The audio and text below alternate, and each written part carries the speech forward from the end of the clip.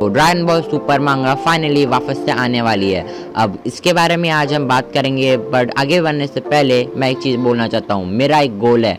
साल के एंड होने से पहले मेरे फाइव के नहीं तो सिक्स के सब्सक्राइबर जल्द से जल्द हो जाए। तो जल्दी जल्दी लाइक और सब्सक्राइब कर देना, जिस, जिससे मेरा ये गोल जल्द से जल्द पूरा हो जाए। तो और बिना किसी देरी के शुरू करते हैं आज की वीडियो तो रिसेंटली टोयोटारो ने एक इंटरव्यू में बोला था कि जल्द से जल्द वो नया प्रोजेक्ट चालू करने वाले हैं बॉल सुपर मंगा का। तो साथ ही साथ टोयोटारो ने ये भी कहा था कि नया प्रोजेक्ट जो है, वो हम फैंस को बहुत ज़्यादा पसंद आने वाला है। क्योंकि इस प्रोजेक्ट को बनाने में बहुत ज़्यादा मेहनत लगी है टोयोटारो सर की, क्योंकि टोरियामा सर के जाने के बाद ये चीज़ बहुत ज़्यादा लंबी ब्रेक पे चली गई थी।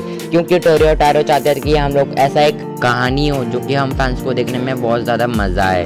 तो अब बात करते हैं कि ड्रैगन बॉल सुपर मांगा कब आएगी। अब बहुत से लोग बोलेंगे कि भाई शायद सितंबर के अंदर ही आ जाए। अब मैं कहना चाहता हूँ कि अगर आना होता सितंबर के अंदर तो अब तक थोड़ा बहुत इन्फॉर्मेशन आ जाता। टोयोटारो की तरफ़ से। पर अगर ज़्यादा ज़्यादा अंदाज़ा लगाया जाए क्या कि बॉल सुपर की मांगा कब आएगी? तो शायद से वो मांगा आ सकती है अक्टूबर के महीने पे। पर अगर मेरी माना जाए तो शायद से वो ट्वेंटी नवंबर को आए क्योंकि फ़र्स्ट एपिसोड जो आया था ड्रैगन बॉल क्लासिक का, वो आया था 20 नवंबर 1984 के अंदर। तो जो वो नया चैप्टर लाने वाले हैं टोयोटारो वो शायद से 20 नवंबर को ही लाने वाले हैं, शायद से। और शायद से जो नया चैप्टर लाने वाले हैं टोयोटारो सर वो शायद से ड्रैगन बॉल डायमा की स्टोरी लाइन फॉलो करेगा।